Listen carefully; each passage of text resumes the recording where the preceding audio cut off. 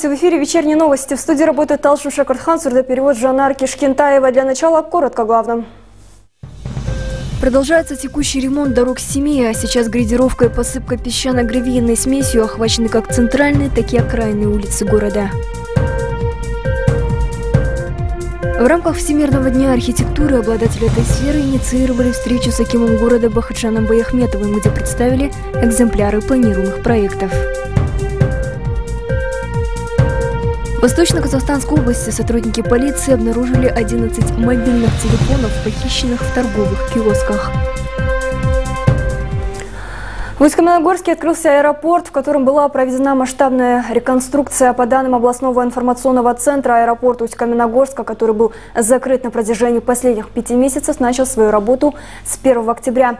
С утра из аэропорта уже вылетели самолеты в Алматы и Нур-Султан. Напомним, что в рамках госпрограммы Нурлжоу проведен капитальный ремонт взлетно-посадочной полосы. Также проведены работы по удлинению и расширению полосы. Подрядчики полностью заменили и увеличили асфальтобетонное покрытие взлетно-посадочной полосы. Теперь ее длина составляет 2800 метров, а ширина 60 метров. Такие параметры позволяют принимать крупные международные рейсы.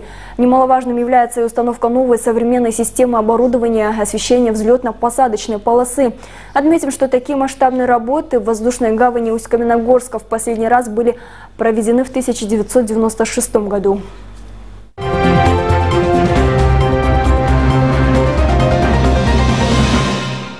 На данный момент продолжается текущий ремонт дорог семьи, а сейчас градировка и посыпка песчано-гравийной смесью охвачены как центральные, так и окраинные улицы города. Аким семей Бахачан Баяхметов, посетив улицы Пасмакова, а также дороги в районе поселков Комсомольский и Шахтар, отметил, что в течение полутора месяцев данными видами работ будут охвачены 30 улиц города. В этом году помимо текущего и капитального ремонта улиц предусмотрена градировка и посыпка дорог песчано-гравийной смесью. За полтора месяца данный вид работ запланировано провести на 30 улицах города. Всего градировкой и посыпкой будет охвачено порядка 35 километров дорог. На данный момент работы ведутся в центральной части города по улице Пасмакова. По словам градоначальника, выравнивание проезжей части с последующей укладкой крупного щебня является подготовительным этапом для последующего асфальтирования. На следующий год на улицах, где была проведена грейдировка и посыпка щебнем, будет произведено асфальтирование. На данный момент грейдировка запланирована на 30 городских улицах. В порядок таким образом будет приведено около 35 километров дорог. Наличие качественных дорог на окраинах Семея – актуальная проблема. Строительство новых требует времени и значительных средств. В связи с этим одним из выходов из ситуации стало выравнивание дорог с их посыпкой крупным щебнем и песчано-гравийной смесью. По сути, это станет фундаментом для новой дороги. Ожидается, что в следующем году объем работ будет увеличен вдвое. На следующий год мы должны сделать 74 улицы с охватом 65 километров дорог. Возможно, что этот объем еще будет увеличен. Кроме того, запланирован ремонт дорог к сельским населенным пунктам. Эти работы будут проводиться в рамках государственных программ при финансировании из областного и местного бюджетов. Вместе с тем Бахджан Баяхметов отметил, что в связи с наступлением осенне-зимнего периода проведение всех видов дорожных работ, в том числе по установке крышек колодцев по проспекту Ауэзова, необходимо необходимо ускорить и выполнить запланированный объем работ до выпадения обильных осадков. Самат Сикенов, Рустем Кайратулы, Айдос Айткалиев, телеканал «Семей». В рамках Всемирного дня архитектуры обладатели этой сферы инициировали встречу с Акимом города Бахатшаном Баяхметовым, где представили экземпляры планируемых проектов – в ходе конференции были обсуждены проблемы архитектурного облика города, также оформление городских газонов и площадок малыми архитектурными формами. Бахаджан Баяхметов отметил, что именно благодаря арт-объектам преображается облик улиц. Также, выслушав мнение архитекторов и скульпторов, Аким со своей стороны выразил готовность к оказанию поддержки. В завершении конференции гости решили отдать дань уважения заслуженным архитекторам города – одним из которых является Нурбулан Утепаев. Он был награжден нагрудным знаком и медалью за развитие города. Нам не надо искать со стороны людей, э, специалистов, э, там более высокого уровня. Я думаю, здесь сидят те специалисты, которые э, работают и знают архитектуру не меньше э, чем те специалисты, которые находятся, скажем, в наших больших городах. Э, и мне нужно вместе с вами, вашим мышлением и опытом работы и вашим видением выстроить в городе то, что бы вы, вы хотели видеть, и вместе со мной, с нашими жителями Сегодня Аким города Бахаджан Баяхметов посетил строительный колледж города. Побывав в учебном заведении, градоначальник осмотрел лабораторные кабинеты, ознакомился с методикой обучения. Здесь обучающиеся осваивают такие специальности, как сварщик, архитектор, мастер деревянного или мебельного производства. По словам руководителя вуза, в год учебное заведение готовит более 100 рабочих специалистов. Большая часть из них трудоустроенные. В процессе обучения предпочтение отдается получению студентами максимальных практических навыков. Аким города Бахаджан Баяхметов предложил студентам колледжа в течение недели разрабатывать проекты первых и вторых квартирных домов в рамках программы «Одноэтажный Восток». Как вы знаете, у нас в области в течение трех лет реализуют проект «Одноэтажный Восток». Предлагаю вам разработать проект двухквартирного дома общей площадью 140 квадратных метров. В течение одной недели жду от вас предложений. Жители многоэтажных домов, кооператива собственников квартир Первомайская 32А и Возрождение недовольны качеством обслуживания со стороны предприятия по сбору и утилизации мусора. По их словам, вывоз твердобытовых отходов осуществляется нерегулярно. При этом уборка накопившихся за пару недель куч мусора производится неаккуратно с причинением ущерба имуществу КСК. Подробности в следующем видеосюжете. Проблема уборки и вывоза твердобытовых отходов для города Семей актуальна круглый год. Жители многоэтажных жилых домов и представители органов управления не перестают жаловаться на неудовлетворительное качество оказания услуг по вывозу мусора. К примеру, квартировладельцы домов, относящихся к КСК Первомайская 32А, вот уже на протяжении двух лет недовольны обслуживанием предприятия, так как машины за мусором приезжают нерегулярно.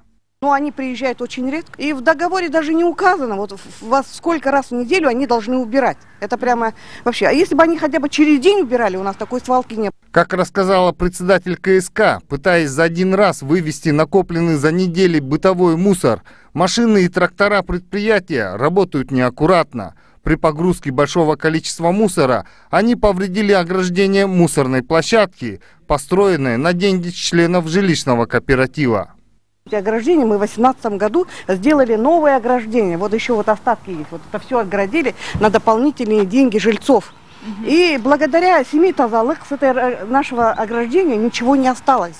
Потому что они неделю не убирают, здесь образовывается большая свалка. Естественно, они приехали, контейнеров не видать, мусорки много. Они приезжают тракторами, грузовыми машинами, э, с кучей работников. Они все это трактором толкают и все, все это разломали. Ох, это же не только у нас, это по всему городу вот такое да. творится.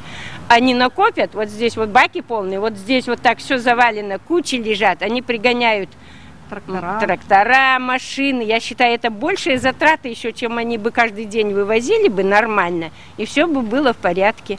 И никакой управы. Люди жалуются.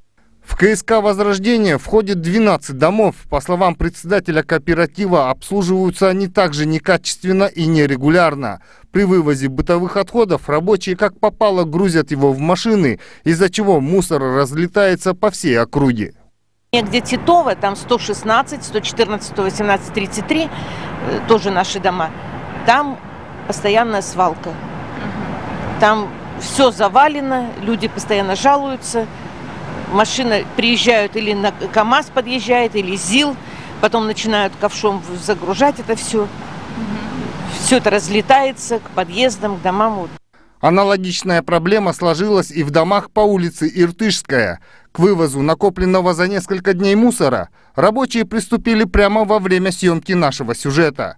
Жители, устав жаловаться непосредственно руководству предприятия, вынуждены были обратиться в редакцию нашего телеканала. В свою очередь, директор ТО «Семей Тазалык» говорит, что само население также виновато в создавшейся ситуации, так как не вовремя оплачивает услуги по вывозу мусора. Кроме того, за счет квартирантов заметно увеличиваются объемы твердобытовых отходов, а оплата по факту идет за одного человека. Иртыская училище Иртышская 17, в них узкие камеры, которые нужно отдельно вывозить в контейнеры. Только сегодня мне прислали фото, машины не смогли забрать с четвертого подъезда. Их долги превышают 400 тысяч. На Первомайской 32 у них 230 тысяч долгов. Мы сейчас бесплатно вывозим все. Скрывают долги, прячут людей, много живут квартирантов. Один человек прописан по документам, проживает 3-4 человека. Объем мусора увеличивается. На сегодняшний день услугодатель, обслуживающий вышеназванные адреса, предоставляет свои услуги большей части многоэтажных домов города семей. Пользуясь терпением жителей, предприятие продолжает халатно относиться к своим непосредственным обязанностям, вывозя мусор по удобному для него графику. Вместе с тем терпение абонентов уже заканчивается, и многие из них считают, что настала пора навести порядок в сфере вывоза и утилизации твердобытовых отходов. Самат Сикенов, Айнур Касым, Ельжан Макзумов, телеканал «Семей». В университете Алихана Букихана открылся Центр аномастических э, научных исследований. Научный центр всесторонне изучает топономику региона и создает условия для проведения студентами научно-исследовательских работ. На сегодняшний день в центре собраны результаты нескольких научных проектов, реализованных учеными университета. Стоит отметить, что уникальный центр открылся при непосредственной поддержке ректора университета Ширен Курманбаевой. В официальном открытии центра, где собраны результаты аномастических исследований, приняли участие ректор вуза Ширин Курманбаева, языковеды и молодые ученые. Ранее группа ученых университета Алихана Бокиханова осуществляла аномастические научные проекты, связанные с названием земель и водоемов нашего региона. В частности, в 2017-2020 годах был реализован специальный проект на основе топонимических названий Тарбагатайского, Аягосского и Урджарского районов. В этом году проведены исследования по Катон-Карагайскому, Алтайскому и Глубоковскому районам. По словам доктора филологических наук Шинар Сиитовой, этот центр открывает перед молодежью много возможностей. Все это делается для сегодняшней молодежи, для тех, кто понимает, что такое страна, что такое родная земля. Здесь столько много материала, столько печатных листов. Есть опубликованные, есть те, которые еще не вышли. Кроме того, у нас есть альбомы. То есть в нашем центре студенты и магистранты университета могут подготовить дипломную работу или тему, связанную с аномастикой, развить ее и, внедрив необходимые данные, разработать научный проект. Перед открывшимся центром стоит множество задач. В первую очередь предусмотрено всестороннее изучение топонимики региона, реализация научных проектов, а также выпуск научных трудов и словарей. В рамках проделанной работы в книгу вошло 8 тысяч наименований земель и водоемов. Ознакомился с книгой по названиям земель Аягосского района и Тарбагатайского районов. В основе этой книги лежит большой поиск и упорный труд. 8 тысяч наименований земель – это мировоззрение и философия наших предков. Ведь просто так наши предки не называли земли. Здесь магистранты и докторанты могут проводить исследовательские работы. Кроме того, двери центра открыты для студентов и школьников, желающих заняться изучением истории региона. Мы помогаем в проведении языковых исследований о древнетюркском периоде. Все, что нужно делать молодому поколению, это впитывать знания и изучать историю названий наших земель. Тем самым мы стремимся сформировать наш духовный код, нашу национальную идентичность. В дальнейшем усилиями молодых ученых аналогичные проекты будут реализованы и в других районах Восточного Казахстана. Самат Сикенов, Бердебек Карымбай, Акжигит Абзалбек Улы, Айдос Айткалиев, телеканал «Семей». В семье стартовал областной отборочный этап конкурса World Skills. В январе 2019 года на открытии Года молодежи Ельбасы Нурсултан Абишевич Назарбаев объявил о старте проекта «Жас Маман». В рамках данного проекта в нашем городе открыт Центр компетенции радиотехники, электроники и телекоммуникации. На стартовавшем в областном чемпионате 9 студентов из пяти профессиональных колледжей Восточного Казахстана соревнуются в компетенциях электроника и предпринимательский дизайн.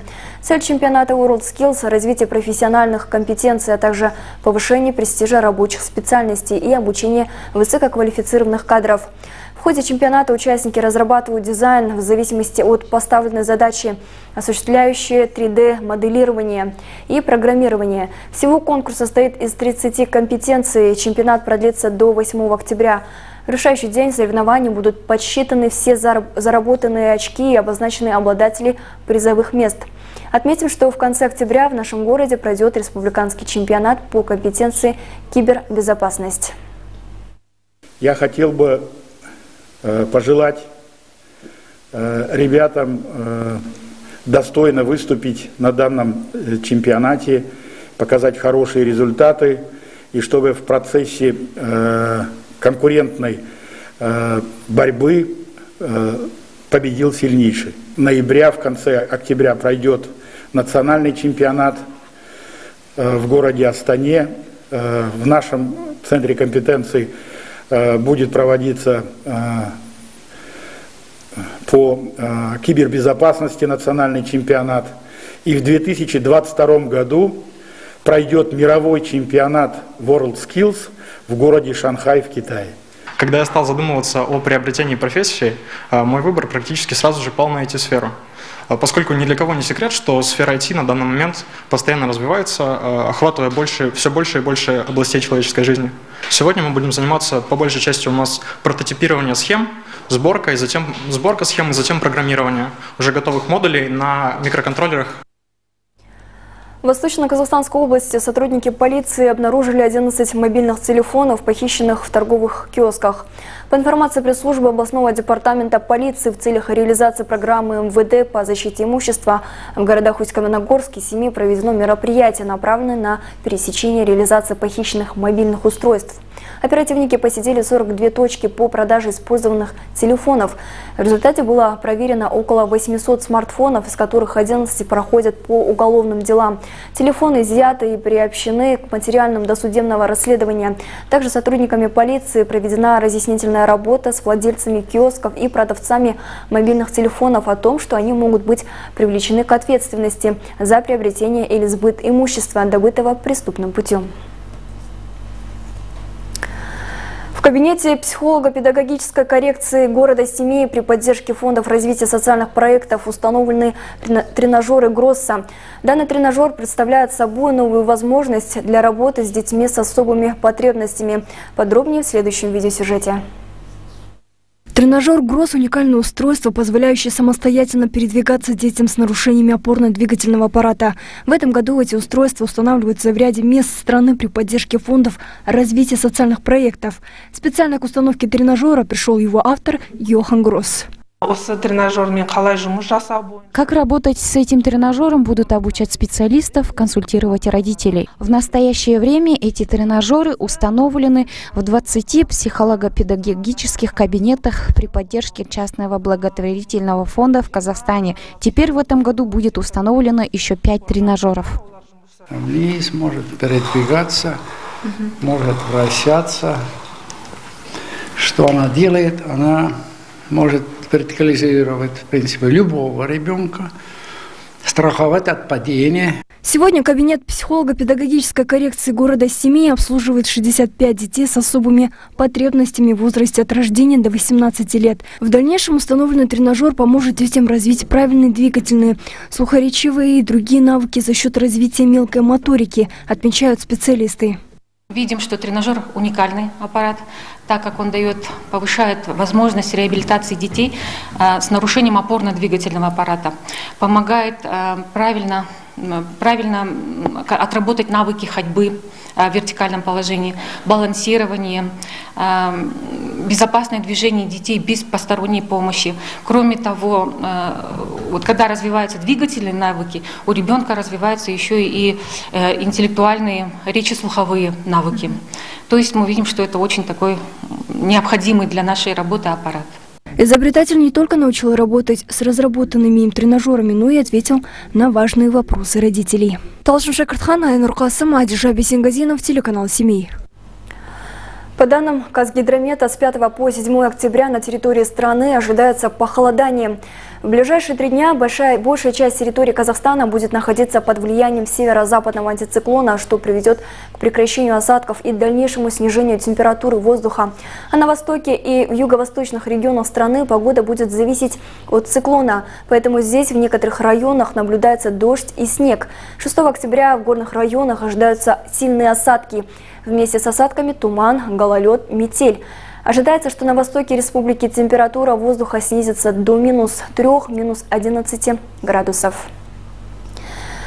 Это были все новости к этому часу. Наши другие новости вы также можете увидеть на сайте семей Всего доброго!